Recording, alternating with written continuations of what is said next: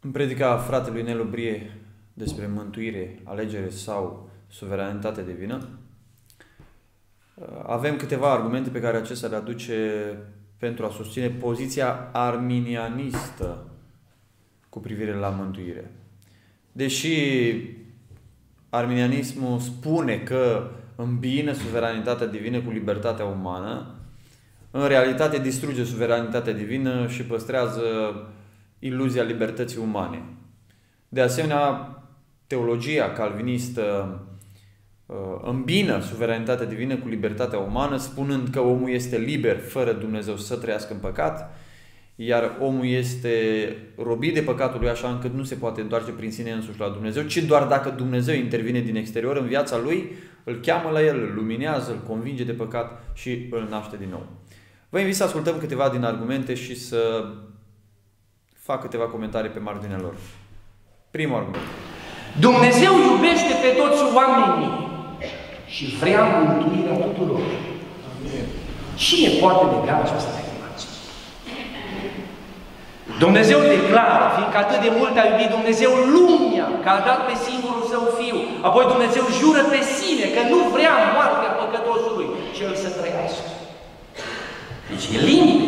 Dumnezeu iubește pe toți oamenii și vrea mântuirea tuturor. În primul rând, când vorbim despre dragostea lui Dumnezeu, trebuie să ne gândim la cel puțin două aspecte. Unu, că decretul lui Dumnezeu veșnic de a mântui anumiți oameni nu înseamnă neapărat că Dumnezeu nu are o dragoste generală pentru toți oamenii. Faptul că Dumnezeu a ales să iubească într-un mod special pe anumiți oameni și datorită acestui lucru i-a ales din veșnicie doar pe ei, nu exclude faptul că Dumnezeu are o dragoste generală pentru toți oamenii. Asta este primul lucru. Și al doilea lucru, să nu confundăm decretele lui Dumnezeu veșnice, planul lui Dumnezeu veșnic, cu dragostea lui Dumnezeu aratată în timp și în spațiu pentru oameni. Da? Așadar, faptul că Dumnezeu uh, iubește pe toți oamenii, nu exclude faptul că Dumnezeu alege doar pe anumiți oameni ca să fie mântuiți. Tocmai lucrul ăsta îl neagă frate, fratele. Faptul că Dumnezeu, zice el, iubește pe toți oamenii, înseamnă că Dumnezeu i-a ales pe toți. Sau că Dumnezeu n-a ales pe cineva în mod particular. Nu, Biblia spune că Dumnezeu a iubit lumea, dar Biblia spune că Dumnezeu a ales pe anumiți oameni ca să îi mântuiască. Al doilea argument. Jertfa lui Iisus Hristos a fost adusă pentru toți oamenii. Teoria calvinistă care spune că jertfa lui Hristos ispășire este limitată, e falsă. Să spunem acest lucru apăsat. Scriptura este împotrivă. E adevărat că jertfa lui Hristos nu este, cum să zic, nu operează în dreptul tuturor oamenilor din lume. Dar nu din pricină că n-a fost dată pentru toți din lume, ci din pricină că unii oameni o resping. Deci ascultați, al doilea argument. Jertfa lui Hristos a fost adusă pentru toți oamenii.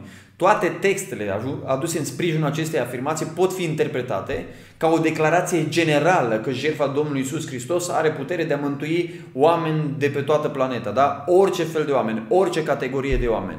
Toate textele pot fi interpretate așa și nu există niciun text care să uh, aibă uh, asemenea presupoziții și asemenea premize care să demonteze ideea aceasta. Nu există text. Și nu cred că se poate demonstra că există text care arată că Isus a murit pentru fiecare om din lume. Nu există asemenea text. Nu există asemenea text. Există texte care vorbesc la modul general despre jertfa Domnului Isus Hristos. Apoi el spune că jertfa Domnului nu operează pentru toți oamenii, deoarece unii o resping, deoarece unii nu cred. Dar eu spun un fel următor. Și Biblia spune că Dumnezeu este cel care dă credință. Cei care au fost rânduiți să capete viața veșnică au crezut. Da? Uh, și mai mult, uh, prin har ați fost mântuiți prin credință și asta nu vine de la voi, ci este darul lui Dumnezeu. Oamenii nu cred pentru că nu le este dată credința. Este un subterfugiu și o scăpare din asta care nu ține la urma urmei, pentru că oamenii nu cred pentru că nu li se dă credință, pentru că sunt necredincioși prin natura lor, iar credința este un dar al lui Dumnezeu. Credința este câștigată în jertfa Domnului Isus Hristos, ceea ce demonstrează că jertfa Domnului este doar pentru aceia care cred.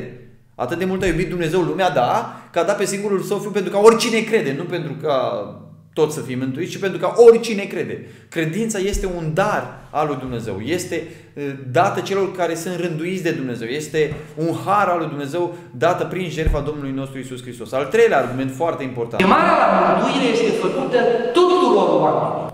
Nu negăm lucrul acesta decât spunem că, în primul rând, nu toți oamenii din lumea asta aud chemarea la mântuire. Sunt zeci de milioane de oameni care n-au auzit chemarea la mântuire.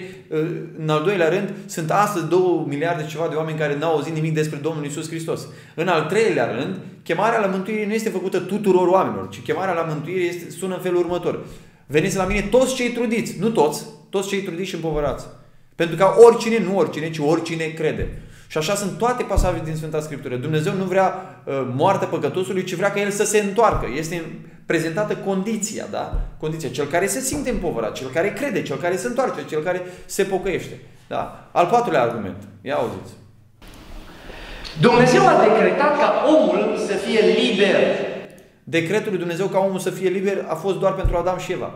Domnul Iisus spune, cine trăiește în păcat este rău păcatul. Nu spune că este liber Domnul Iisus Hristos. De ce continuăm să facem afirmații care contrazic clar Scriptura? Omul este prins în cursa diavolului. 2 Timotei, capitolul 2.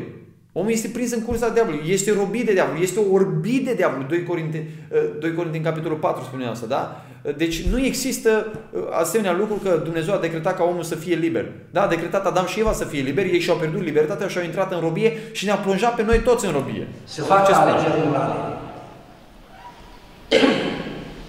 Dumnezeu l-a înregistrat pe om cu libertatea să aleagă binele. Unde spune Biblia asta? Unde spune Biblia asta? Adam a fost, dar unde spune că eu mai am libertatea de a face binele? Nimic bun nu locuiește în mine, adică în firea mea pământească. Sunt rob păcatului, trăiesc în păcat. Fără Dumnezeu, asta este viața mea. Să aleagă între bine și rău, când răul se conturează. Discuția este, nu există predestinare pentru mântuire sau pentru pierzare. Asta este cea mai halucinantă afirmație pe care am auzit în toată predica asta. După ce a prezentat o grămadă de pasaje care vorbesc clar despre predestinare la mântuire, trage concluzia, nu există predestinare pentru mântuire, ci doar la slujire. Ba da, există predestinare la mântuire. Biblia spune asta. Pe aceea pe care a cunoscut, ea și hotărât să fie asemenea chipului Fiului Său. Și termenul cunoscut de acolo nu se referă la faptul că Dumnezeu a cunoscut credința lor, că nu asta spune textul. Textul spune pe aceea pe care i-a cunoscut, pe oameni a cunoscut, nu credința lor, da? Deci textul nu la asta se referă. Da? În al doilea rând, este clar că textul nu se referă la o preștiință pe baza credinței, pentru că termenul cunoscut are altă semnificație. Când Domnul Isus spune oamenilor la judecată, niciodată nu v-am cunoscut. Oare nu știa Domnul Isus despre ei? Sigur că știa Domnul Isus Hristos despre ei. Domnul spune că nu a avut nicio relație de dragoste cu ei. La asta se referă termenul cunoscut, da? Când Pavel spune, Domnul cunoaște pe cei ce sunt ai lui, noi am putea să întrebăm, dar ce nu-i cunoaște pe cei care nu sunt ai lui? Nu, Pavel se referă, Domnul cunoaște pe cei ce sunt ai lui, adică i-a iubit. Când Petru spune că Hristos a fost cunoscut mai dinainte de întemeierea lumii, ca jertfă de ispășire, ca mântuitor, se referă la faptul că, era, că există lucruri pe care Dumnezeu nu le cunoaște. Ce? L-a cunoscut numai pe Hristos, n-a cunoscut și alte lucruri. Nu, se referă că l-a ales pe Hristos.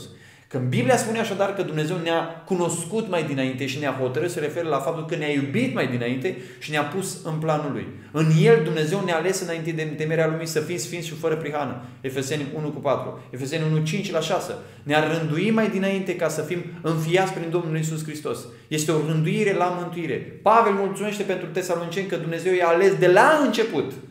De la început în sfințirea Duhului, în credința adevărului. Există o predestinare la mântuire. Sunt o sumedenie de pasaje pe care nu le poți arunca pur și simplu la gunoi, doar că nu se potrivesc cu arminianismul tău. Deci nu se poate lucrul acesta. Sunt atâtea argumente aduse aici care pur și simplu uh, nu supraviețuiesc atunci când sunt puse față în față cu Sfânta Scriptură și interpretate. A încerca într-o singură predică să lămurești atât de multe pasaje și să stabilești atât de multe argumente, fără să ai timp să exegetezi pasajele, să interpretezi pasajele în contextul lor, este din punct de vedere uh, omenesc uh, un proiect uh, care se încremenește 100%. Deci, cu siguranță 100% este un proiect care nu poate fi dus la final. Și asta este încercarea uh, fratelui Nelu Brie și ea este destinată la propriul eșecului. Și aș mai spune un cuvânt despre două imagini pe care le folosește, pe care aș vrea să le ascultați. pentru a explica că suverenitatea lui Dumnezeu și voința umană funcționează în felul următor, zice el. Este un vapor, un vapor care pleacă și care are predestinat cursul. Asta e treaba lui Dumnezeu. Însă vaporul se oprește din când în când și oamenii pot să urce sau să coboare. Adică unii să fie mântuiți și alții să-și piardă mântuirea pentru că uh, coboară din vapor. Realitatea este alta. Realitatea este, dacă aș folosi imaginea asta, că există un vapor și că oamenii uh, rod păcatului și că își iubesc plăcerile lor și nu urcă nimeni pe vapor. Asta este problema. Asta e imaginea adevărată a mântuirii. Că nimeni nu urcă pe vapor decât dacă Dumnezeu își trimite emisarii lui și coboară uh, jos pe pământ și convinge pe oameni și lucrează în viața oamenilor și ridică pe oameni în brațe pentru că sunt rob păcatului, sunt afectați de păcat, sunt depravați în păcatul lor, sunt iubitori de păcat și suie pe vapor.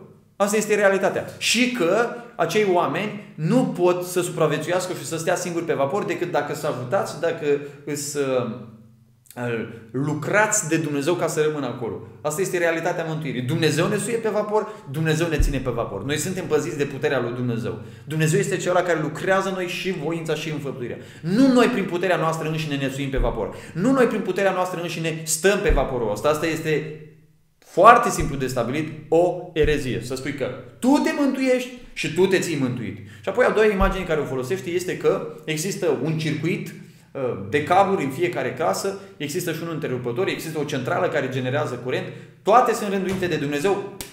Eu trebuie să apăs întrerupătorul. Asta este mântuirea, spune. Nu. Asta este o imagine greșită care duce la o doctrină eretică despre mântuire, poate ortodoxă, catolică, dar sub nicio formă evanghelică și protestantă. Și vreau să ascultați bine lucrul ăsta, pentru că fratele este uh, rectorul sau președintele Institutului Teologic Pentecostal și mă gândesc că cei care termină teologia de acolo și devin predicatori, evangeliști și păstori vor crede exact aceleași lucruri. Bine ar fi să nu creadă. Deci, Dumnezeu face totul, dar clicul eu trebuie să-l fac. Eu sunt controlul destinului meu. Eu trebuie să apăs întrerupătorul. Eu îmi hotărăsc mântuirea. Eu sunt la cârma destinului meu, nu Dumnezeu. Predestinarea lui Dumnezeu este egal cu zero, dacă nu, eu nu apăs întrerupătorul. Asta nu este predestinare. Asta înseamnă exact același lucru că Dumnezeu nu poate să facă nimica și că Dumnezeu de fapt nu este chiar mântuitorul meu pentru că eu mă mântuiesc. Eu apăs întrerupătorul. Eu mă sui pe vapor. Eu rămân pe vapor. Sunt două imagini care arată o concepție pelagiană despre mântuire. Adică că omul are putere să se mântuiască. Asta a fost Pelagius. A fost condamnat ca eretic chiar de Biserica Catolică. Avem persoane astăzi, Vladimir Pustan, Petru Lascău, Luigi Mițoi, fratele Nelubrie, care predică pelagianismul pe față. Omul poate să se mântuiască. Omul este în controlul mântuirii sale. O concepție eretică despre mântuire. Este o altă evanghelie. Și oamenii ascultă predicile astea și strigă amin. Da, așa este. Omul poate să se mântuiască. Da, omul este la cârma destinului său. Da, omul apasă întrerupătorul. Da, Dumnezeu nu mai așteaptă, nu mai poate să facă nimic. Nu mai poate să facă nimic. De ce vă mai rugați pentru copiii voștri care au mers 15, 18, 20 de ani la biserică și care au, li s-a făcut oferta mântuirii? De ce vă mai rugați? Ce să le mai facă Dumnezeu, Domnule? Ce să le mai facă Dumnezeu? Să se bage Dumnezeu cu forța în viața lor? Nu vă mai rugați. Dacă au auzit odată Evanghelia și au respins-o, nu ar trebui să vă mai rugați pentru ei, că Dumnezeu le-a făcut deja oferta.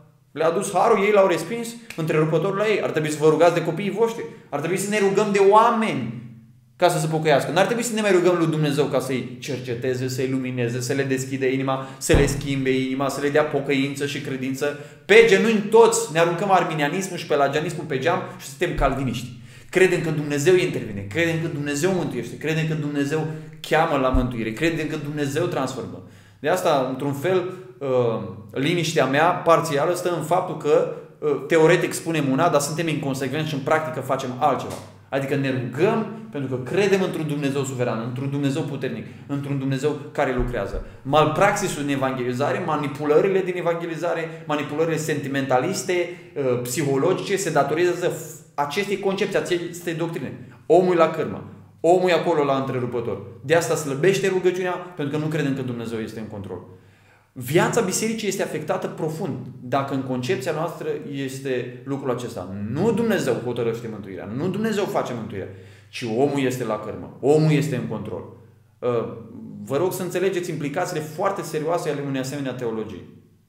Să înțelegeți implicațiile teribile pentru mine aceasta este o altă Evanghelie. Pentru mine aceasta este o concepție greșită, fundamental cu privire la mântuire.